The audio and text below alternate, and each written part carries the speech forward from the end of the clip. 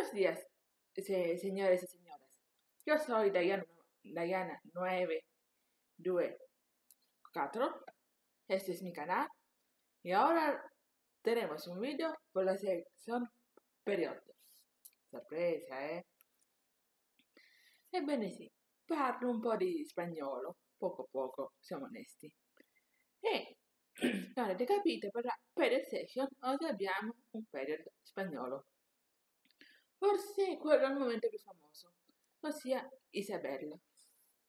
Allora, Isabella è una serie tv spagnola di RTVE che è più o meno il corrispondente della RAI nostrana.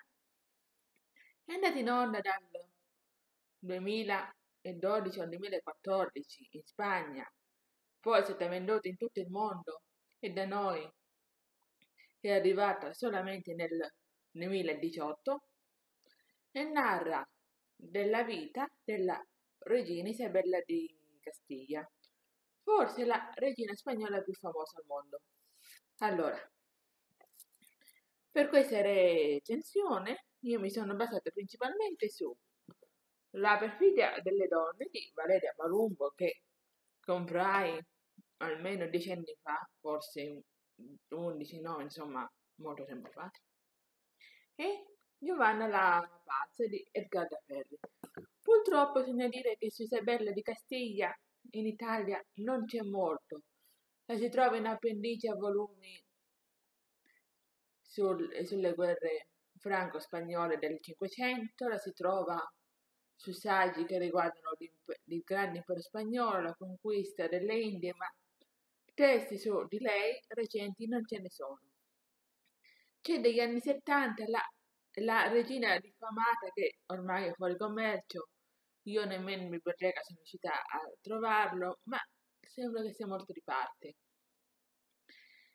Invece mi baserò anche, e questo è un male per me perché purtroppo non ho altro, sul blog di Tumblr, La Triste Reina, la cui autrice, con, con cui spesso chatto, in inglese, ha aggiunto ai suoi gi- gift set diversi stracci di testi inglesi su Isabella o suo marito Ferdinando. Purtroppo in Italia questi testi dubito verranno mai tradotti. Comunque, cominciamo. Isabella, come ho già detto, è andata in onda per tre anni e conta tre stagioni, da 13 episodi cada uno, da 70 minuti episodio. In Italia lo hanno mal, mal tagliati in due stagioni con un totale di 26 episodi, ogni episodio è 100 minuti, quindi si prendeva un episodio, metà del secondo e li si univa. Ovviamente c'erano problemi con trama, spezzoni, che però diciamo sono stati ben ovviati. Io l'ho vista an- tre anni fa in spagnolo, castigliano, sul sito di RTVE che mette a disposizione uno streaming g- gratuito. Lo si trova, è, è legale. L'unico problema è che la, la si guarda o con sottotitoli in spagnolo o niente. Non ci sono i sottotitoli in inglese. Gli spagnoli non credono nei sottotitoli in inglese. La si può guardare o con i sottotitoli e basta, o con i sottotitoli e a destra la trascrizione. Il che vuol dire che anche un suono onomatopeico finisce in questa trascrizione. Se lo guardate così, si guarda molto bene. Tutti gli episodi sono in ordine dal capitolo 1 al capitolo 39 e devo dire che mi è molto piaciuta. Allora, a differenza di altre serie inglesi o americane o spesso anche italiane, sapete tutte a chi sto pensando, medici, Isabel è stata una serie molto rigorosa, molto fedele, addirittura in alcune scene sono stati ricostruiti i ritratti di scuola storicistica de- dell'Ottocento riguardanti Isabella di Castiglia. Per esempio la scena del testamento, la conquista di, di Granada, sono ricostruiti in maniera assolutamente perfetta.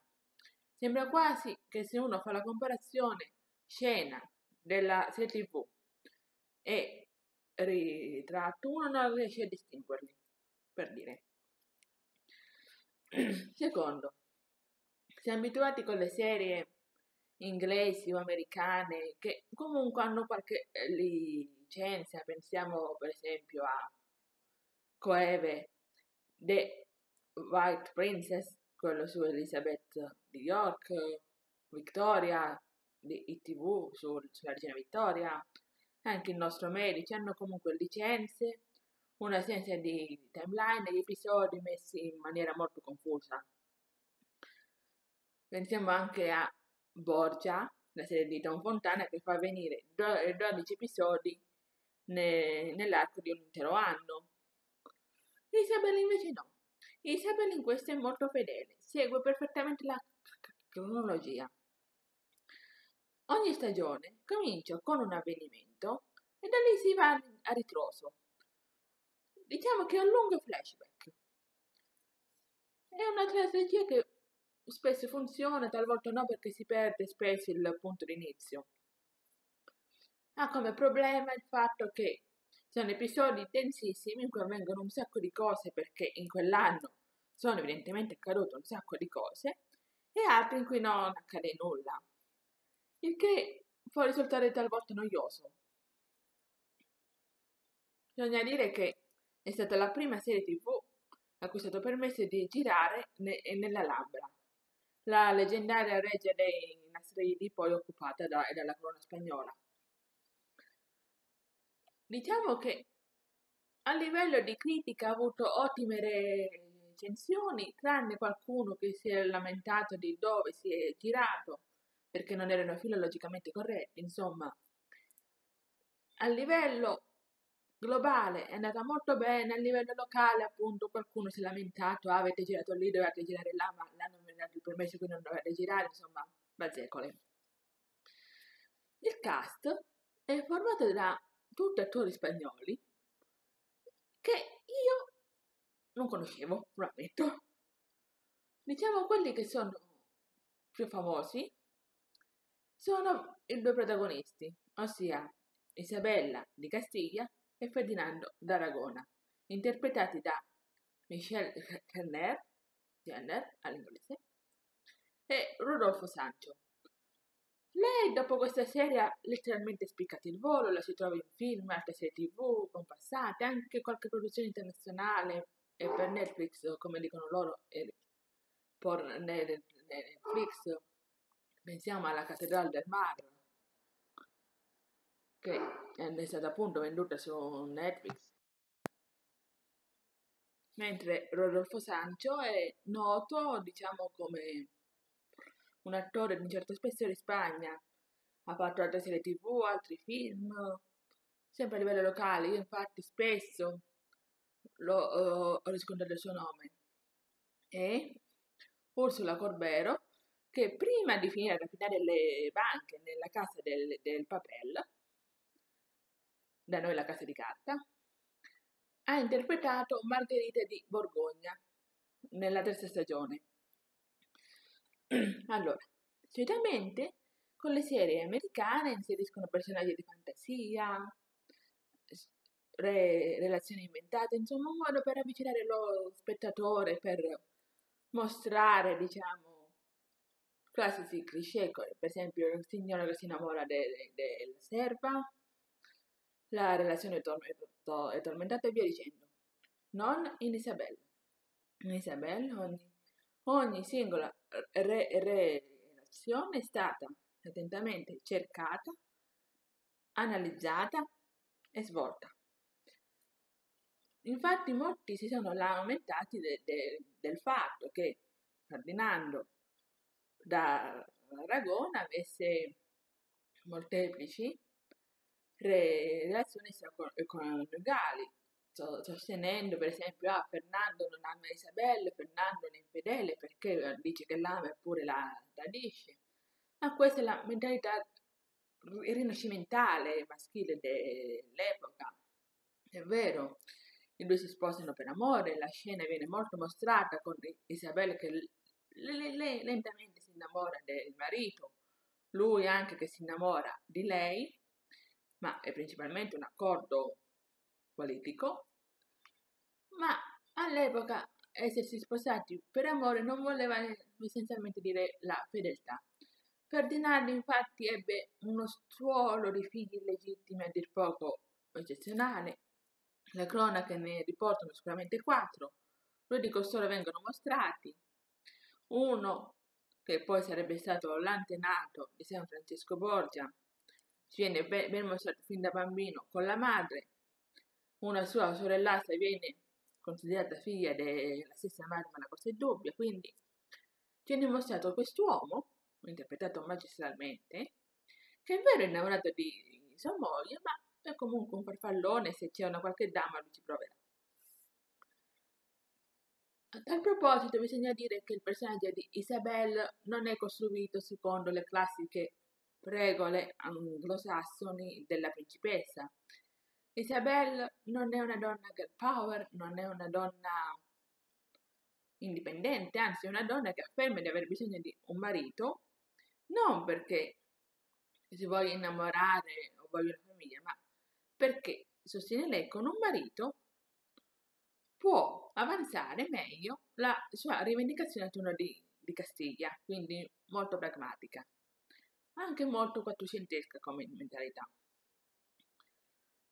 Come vi ho detto, Isabelle è molto fedele agli eventi, attinge a cronache, a corrispondenze e se c'è un qualche evento che viene mostrato è perché quell'evento è stato letto, analizzato e giudicato meritevole di essere inserito.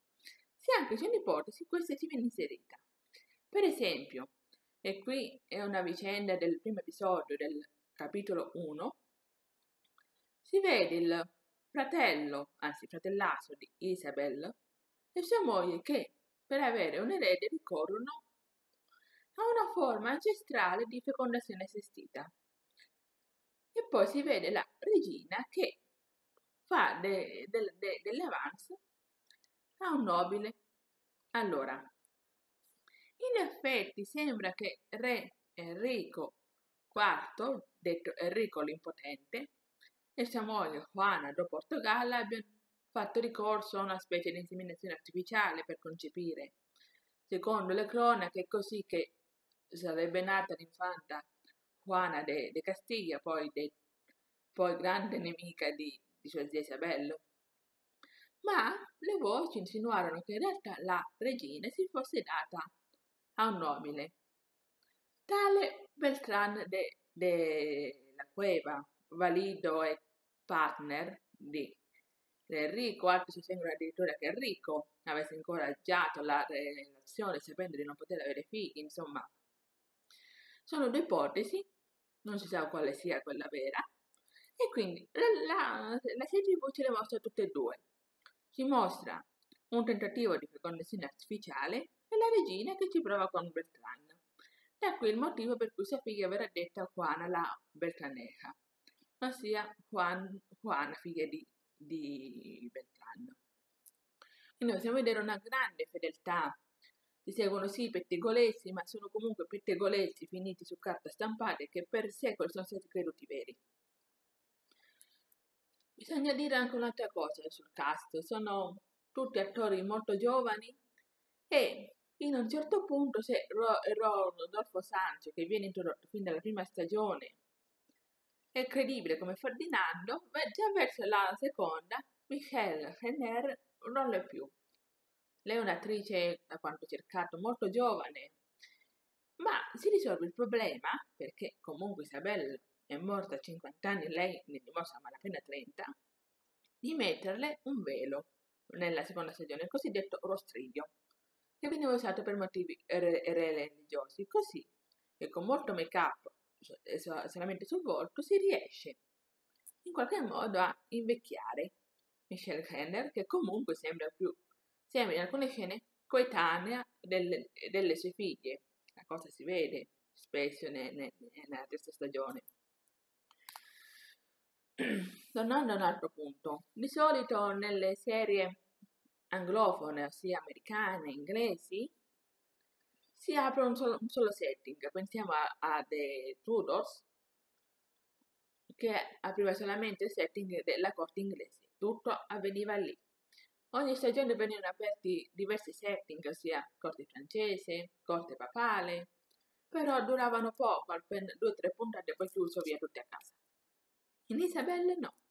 In Isabelle vengono aperti diversi setting che proseguono paralleli alle vicende, come giusto che sia, in modo che nessun personaggio, che poi si rivela importante, venga introdotto in media res.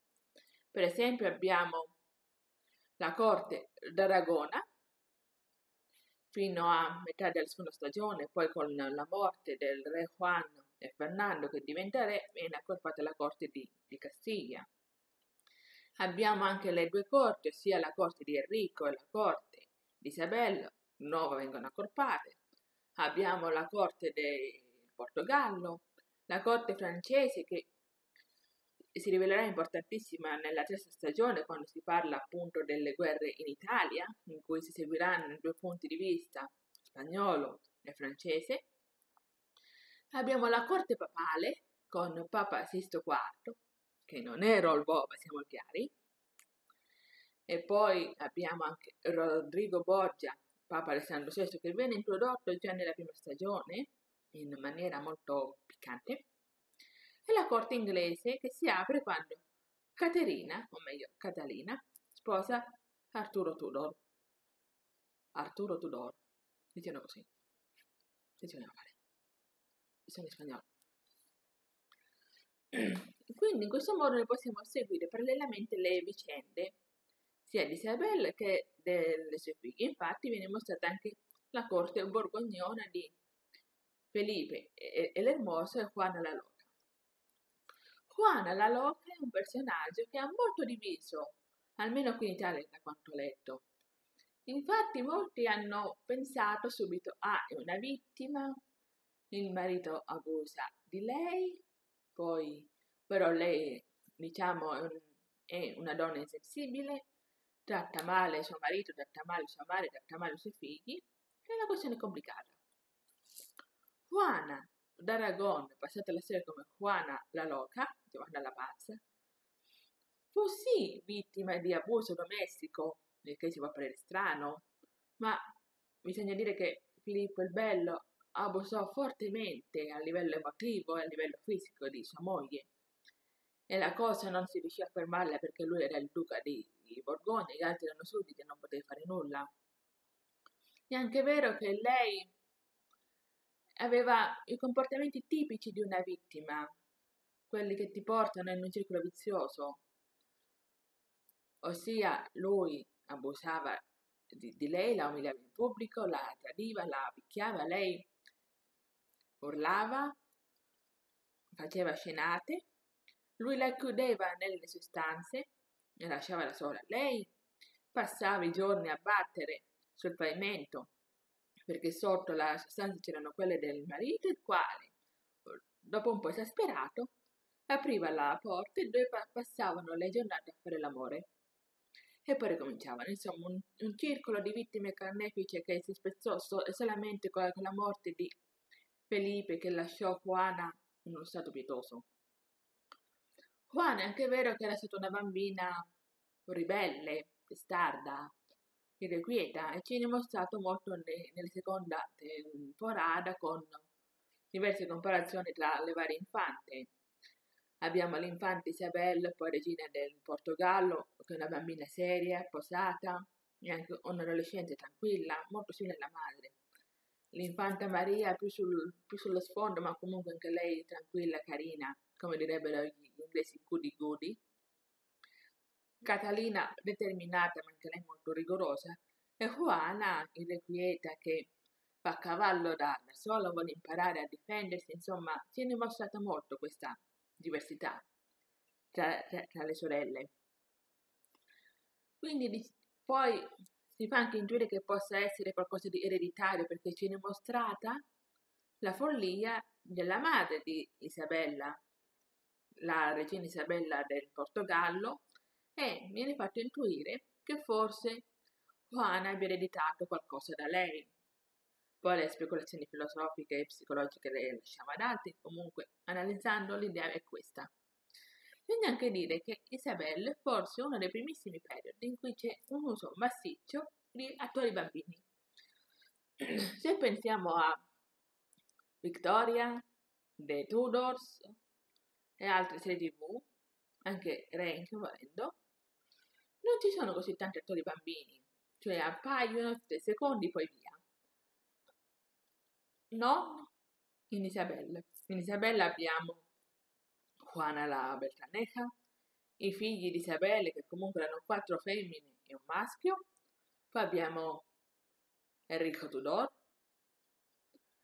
abbiamo i figli di Juana, il figlio di Isabella del Portogallo, i principi francesi, insomma è pieno di, di bambini e li vediamo crescere. Vediamo crescere l'infante, vediamo crescere Juana la Bertlaneta, insomma, li si, li si accompagnano, non è che appaiono 5 minuti, scompaiono e riappaiono all'episodio dopo grandi, no, non funziona così. Sono ovviamente scene di battaglia che penso siano state fatte bene, io non mi intendo di battaglie, di quello in Italia se ne intende Andrea Frediani e non, e non la sottoscritta. Poi bisogna, come ti ho detto, una mentalità cinquecentesca rinascimentale che viene trasposta molto bene, niente manfrine come si fanno in altri periodrama che si vogliono modernizzare ma poi hanno effetto francamente ridicolo. Setting aperti. ah, dimenticavo, avendo girato a Granada, vi è anche la corte dei Nasridi, ossia gli arabi i quali non è che vengono mostrati come cattivi, come sarebbe stato facile, ma come avversari.